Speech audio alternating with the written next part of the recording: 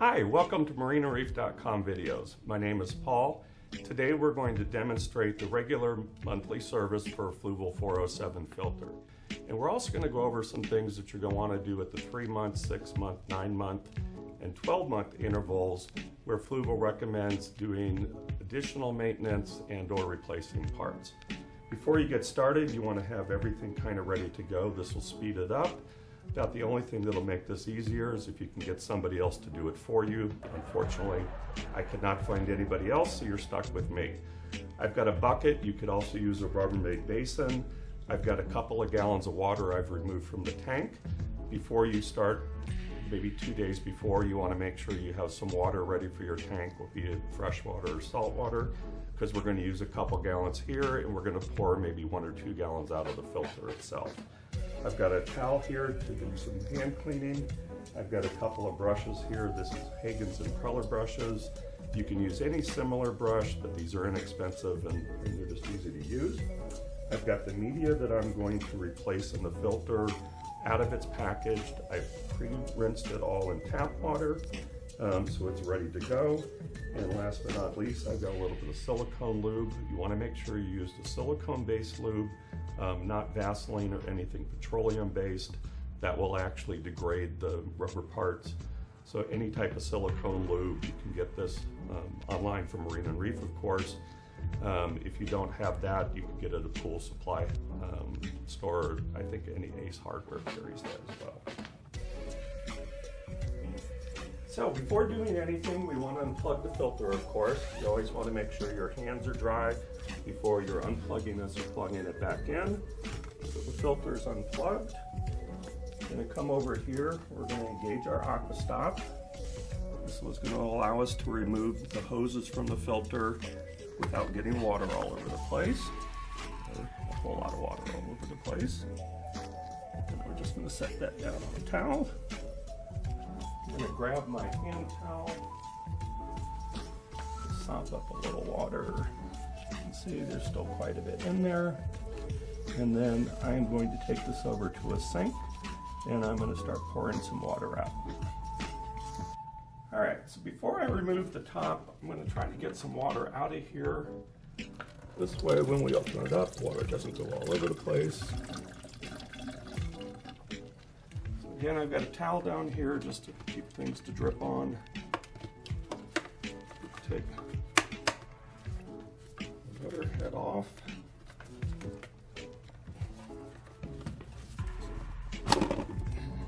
Want to come off? There we go.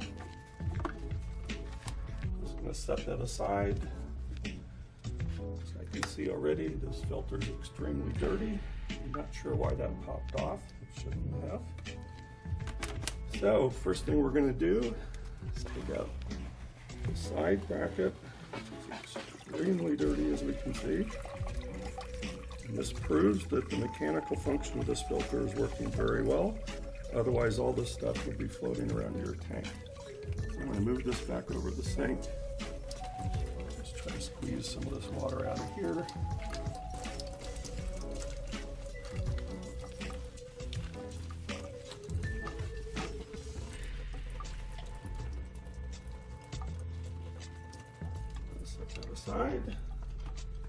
Take the top of the filter baskets off.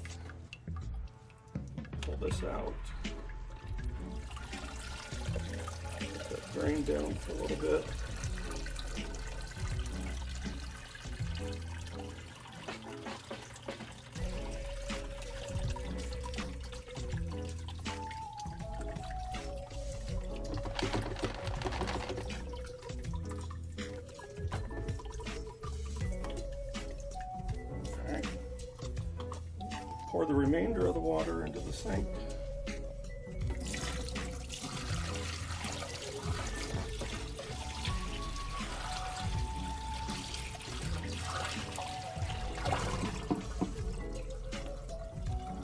Looks pretty clean in there. If there was a bunch of stuff in there, I would rinse it out with a little bit of tap water. You want to make sure you never use any type of cleaners or chemicals on anything that goes inside the filter. That would be a problem. Okay, we're ready to begin. If you refer to the Fluval manual, they have the maintenance schedule for everything. Um, it's in, I think, 150 languages and 1,000 pages long in really small type. So we have prepared this nice chart you can download from our website or buy with any of our bundles that gives you which month and which service needs to be done. So we're going to start with the foam. The biofoam here is the first point of contact with tank water as it comes in so you can see it gets pretty, pretty dirty. So I'm going to pry these out of here. And we're going to throw these down in here. And I'm going to let them sit in there for a second. And we're just going to kind of gently clean these off. Um, every month you want to clean this. You really want to get this junk out of your tank. As you can see, these are pretty dirty. Um, Fluval suggest that you replace these every six months. They'll just start to break down. There's three sets of biofoam, two here and one at the bottom we'll see in a few minutes. They make a multi-pack of foam, the biofoam. Uh, you can buy them individually, but it's far cheaper and you are going to replace them all at the same time. I will caution you that you don't want to replace all the biomedia at the same time. So we're going to be talking about uh, the Biomax in a little bit that you're going to replace about half of every six months. Um, and then these biofoams, if you have a fairly new tank or an overstock tank, you don't want to replace all of that at the same time. So you can just do the outside sets of the foams and the biomedia, and then the next month do the inside sets or something like that. Um, if you're worried about it, we will have bacteria here um, that cycle, and you can put some of that in. It's not a bad idea to use it every time you do the service. All right. One more dunk. This filter was on a coworker's tank in his home, and definitely got it dirty for us. All right, so we're gonna replace this. Comfy side is out. The surface area. All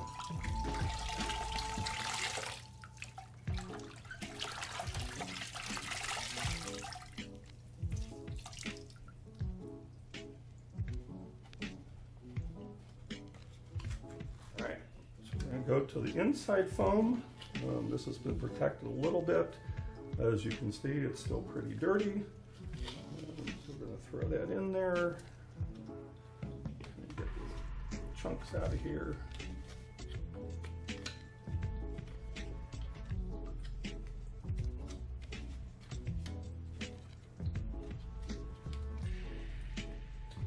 Same thing, we're just gently swish these around in the water.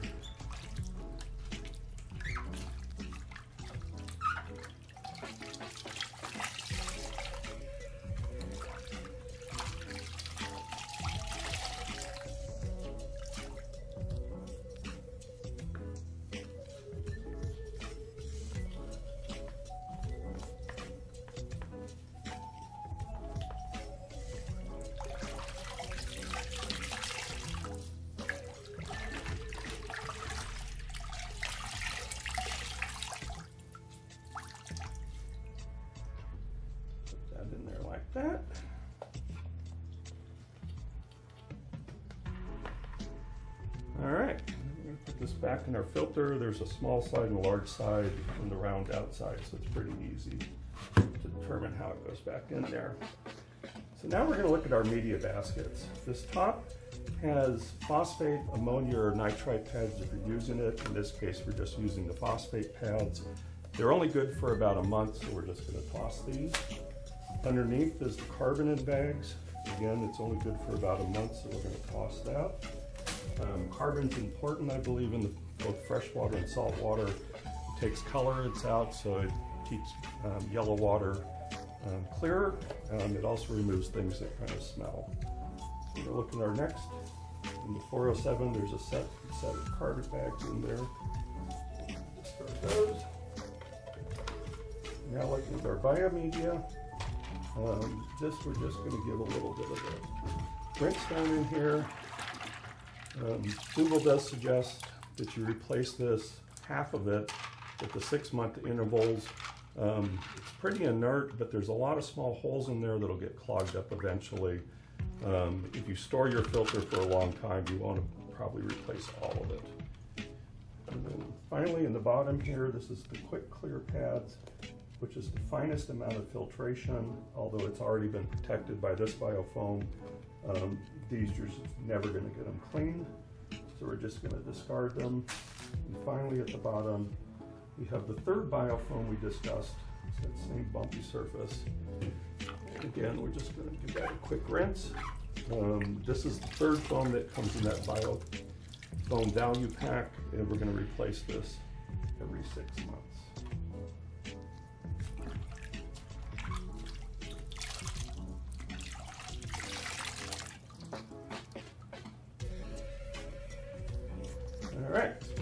Media back in here it came out. Our new carbon in here. You will notice I took four carbons out. That was what came with the filter. For some reason, when you buy carbon from Fluval over here, it comes in a three pack, but the amount that's in that box is equivalent to the four that came out. So we're gonna put two in there. Yeah, pardon me, I forgot something here. So, Got a quick.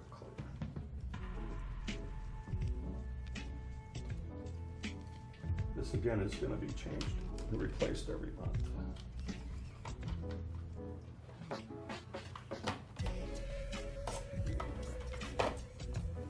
One remaining carbon. Um, I've already rinsed this. It's critical you rinse this in a little tap water because there's a lot of fine particles that are in there that we want to get rid of.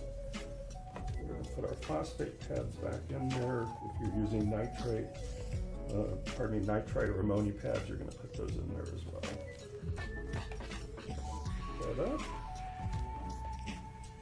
Move it over here into our filter. Cover back on.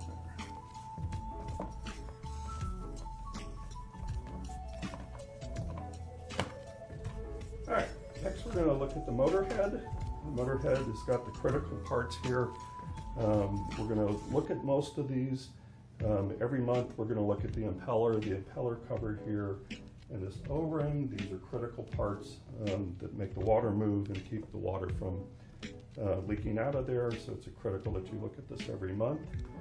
We're going to open this up by pulling back and up. And it'll just snap out like that. take our towel, this off here. all these internal rubber parts we're going to want to lubricate with that silicone lube we talked about. The easiest way to do that is tear this open.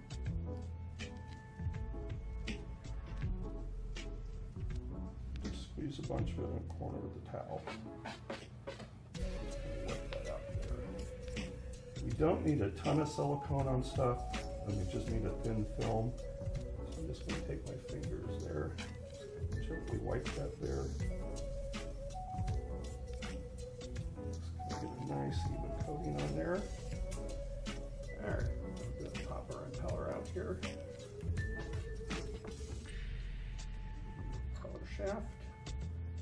Um, this looks nice and clean, so we're not going to worry about it too much. We're going to expect the impeller, um, if there's any pits or anything broken or cracked, you're going to want to replace it immediately. Um, these are critical parts, and these are parts that Hagen suggests you're going to replace every year. I believe everybody should have these three parts on hand.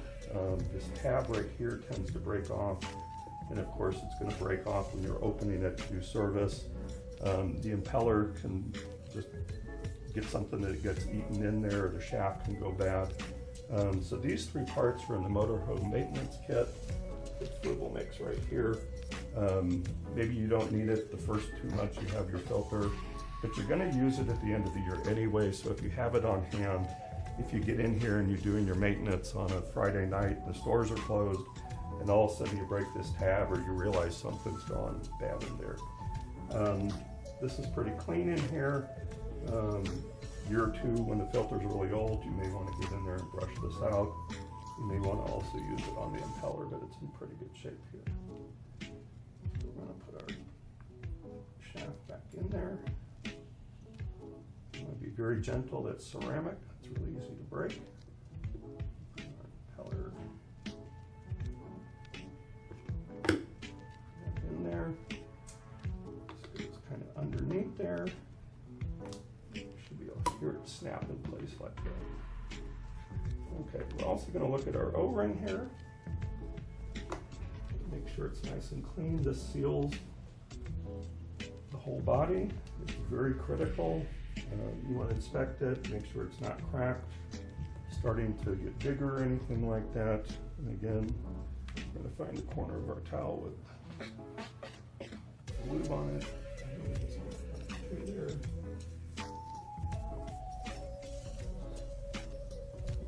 It easier to seal up, lot fewer problems if you do that. There's one other part in here. This is something you want to do maybe twice a year, every six months. So this is where they're prime the filter if you need to. And this is the primer cover. And this is only on the 407. And it just kind of snaps out. This is two things on the side. So the things we want to look at is this flapper here. It's critical. There's nothing keeping that open. I'm just going to rinse that in there. First, I'm going to lose my flapper. I'm never going to find it in here ever again.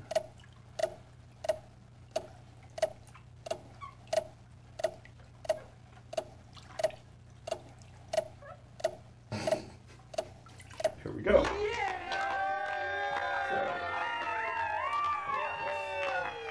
that, Get back in there. Um, we're going to look at the cylinder here. This is actually how it primes. There's a gasket here. And then there's also an O-ring here on the shaft. So I'm going to pull it all the way back.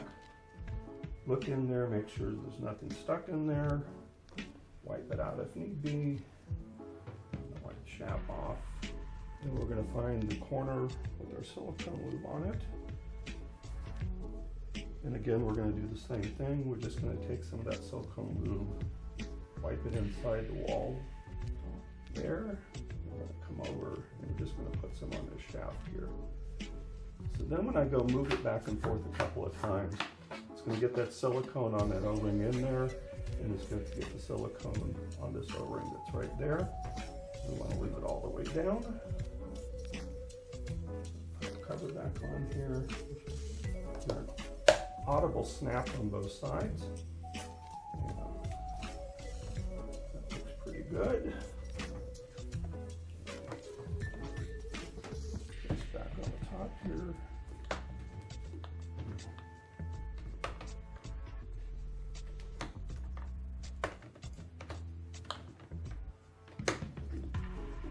Seal. All right, there are a few other things that Hagen is going to suggest you do um, maybe every three months. Um, I've left this on the tank. This is the new one just for demonstration. There's O-rings here on the Aquastop. You want to clean those and use that silicone to lubricate them too. This is the other point where this filter can leak. So it's really important you do this. It's probably not a bad idea to do it every month. You've got it out anyway, you've got your towel ready, you've got your silicone there. And then once or twice a year, the inlet and outlet, um, probably as much for appearances, but you're going to want to take them from the tank. You're going to want to clean these off. Um, you're going to open this up. There's a little ball in there, a little valve. Make sure that's cleaned out. If it's not, rinse it out in that tank. Um, once a year, you're going to inspect all the hoses and all these gray rubber pieces. If you start to see them cracking or they just look like they're starting to discolor or fall apart, you want to replace them. The hoses once a year you're going to want to clean out, maybe just run some tap water through them. When they get old and they start to really get plugged up over time, Fluval does make a couple of brushes that you can pull through there. This one you push through, this one you pull through. You can use these also to clean this out. It's not going to happen in the first year or so, but eventually crud will build up in there and it's just going to slow the flow of your filter down. So that pretty much sums it up. I appreciate you watching. If there's any questions you have about this, um, things we haven't covered, things that weren't clear, um, please feel free to contact us. We have multiple aquarists on staff who have done this multiple times and really know what they're doing, and we're more than happy to help you out. Our goal is to make sure that you stay in the hobby as long as possible, and to that end, doing maintenance is critically important. Thank you.